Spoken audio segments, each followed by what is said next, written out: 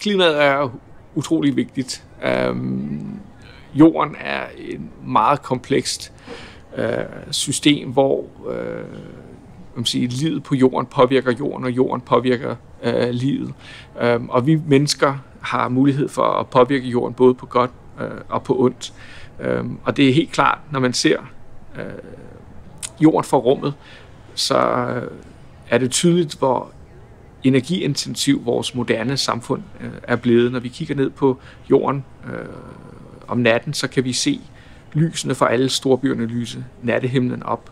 Øh, og man bliver også meget opmærksom på, at, at, at jorden er utrolig unik. Der er ikke nogen øh, sige, anden planet, der på nogen måde minder om jorden i nærheden af os. Øh, det her, det er vores hjem. Øh, så vi må hellere passe godt på jorden.